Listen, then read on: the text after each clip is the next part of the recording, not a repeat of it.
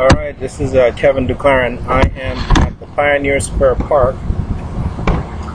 Make sure that uh, you got me here. It is uh, Wednesday, the middle of the week, uh, the 24th of June, 2015.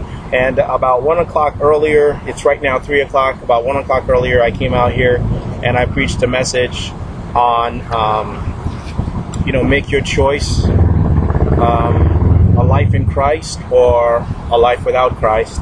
And basically, what I used was um, I used two things. I use a, a, a, new this this art this newspaper here. I used an article out of it, and um, and the question that I have asked,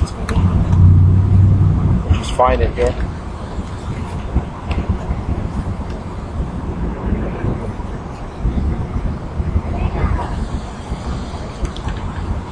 The article here.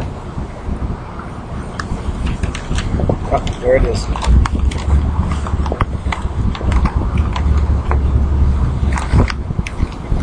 This is the uh, cover of the book that I used right here. This is what I usually use.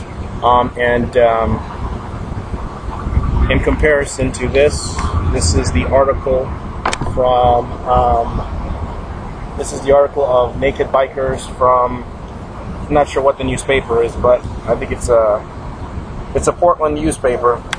It's sort of like a weekly newspaper, and basically I have um, given the American people a choice between living in Christ and living not in Christ. And uh, I want to read you something here real quick.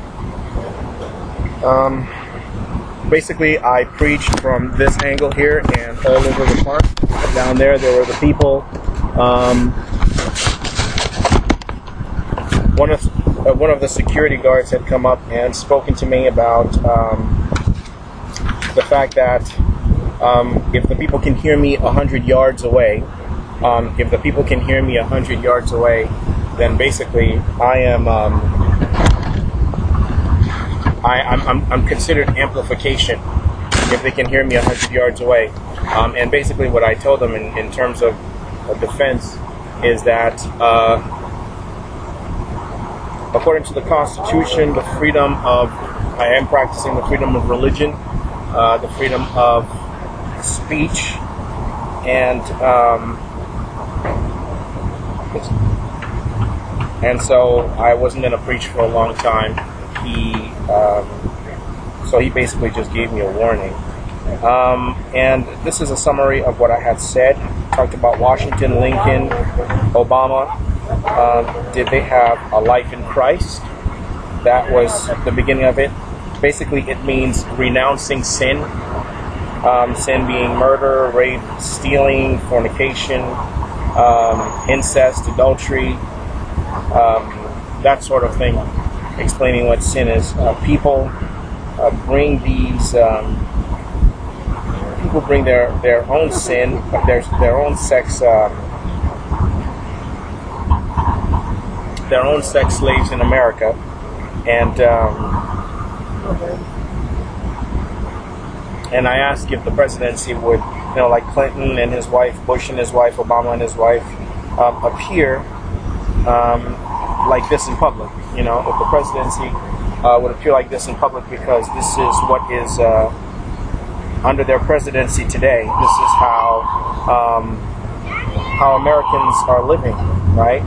Um, and uh, this mindset is in the church.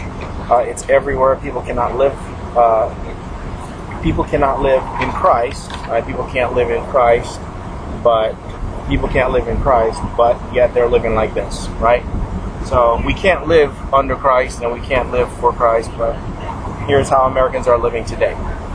Um, you know, certain a certain liberality that just says you can do anything you want but yet to practice Christianity is is you know it's a it's a it's a sin in itself. Um, and basically, this mentality is in the church. It's everywhere. People cannot live in Christ. Some some become Christians um, and are required to live in sin. People there are people who are Christians and they're still required to live like this. Rather, um, I don't know if the camera's picking this up. It's kind of hard to see with the you know people are, are, are being asked to live this way, even though they're they're they're living in Christ, right? Um, and what I did was I asked them, well, let's cross out my name here and put the names of you know George George Washington, um, cross out my name here, George Washington, um, Lincoln, um, who gave us the 13th uh, the 13th Amendment, the freedom of slavery, um, and Obama, who just recently became the president, right? And I asked, well, are they living in, you know, did they ever live in Christ? And is the presidency today um, living in Christ? And most likely he's not, or else he wouldn't be the president of the United States. Um, I mean, on paper, it looks good, but the reality of it is, I mean, to go to war and kill all those people when the Word of God teaches, thou shalt not kill, you know, let's go to war with Afghanistan, a continuation of. Uh, I'm going off tangent here. But anyway, um, I also said to them, it's either you go to these people, this community, you go to them, um, or they come to you. You know, it's either you go to them and sin, or they come to you and sin. You know, do you know how many times? And I said to them, do you know how many times I've been summoned to go to taboo? Um, this is not fair. That it's um, you know that's that, that, international should be subjected to this community. It's not okay um, for Christians to live in Christ, but it's okay for Americans to expose their genitals openly to the public. Um, I think some liberties go too far, right? Some liberties go too far, and I'm talking about this right here and not just that right there. I don't have a problem with the people here, but it's the community that I don't have a problem with the people here. Um, it's the it's it's the community that ex, ex, expresses its liberality to do whatever they want, and then call others to that same standard.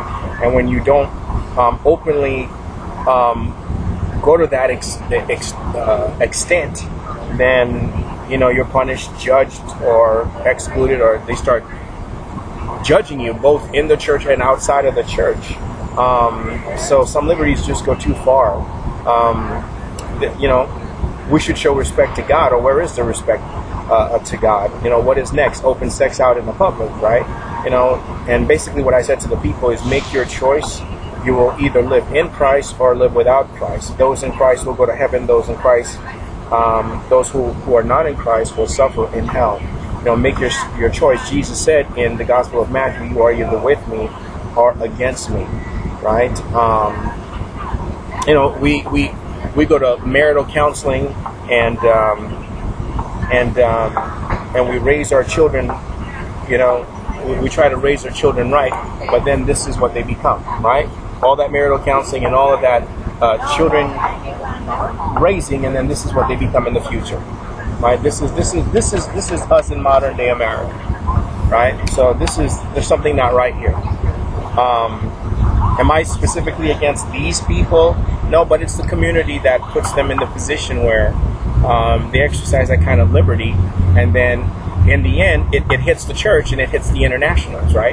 The church have to leave um, the, the fellowship of the saints to come out into the world and do what? And, and live the same way. I mean, you know, or they, they have to leave the, the, the ministries because people like that are in the church and they come all dressed up on Sunday morning and you don't even realize that's who and what you're dealing with.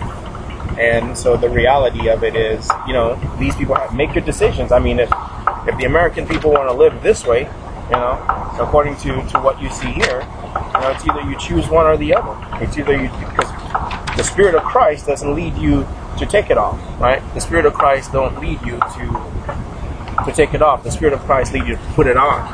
And so it's one, it's one or the other. Right? So that's basically what I preached to them for about 10, 15 minutes. And then after that I left. So.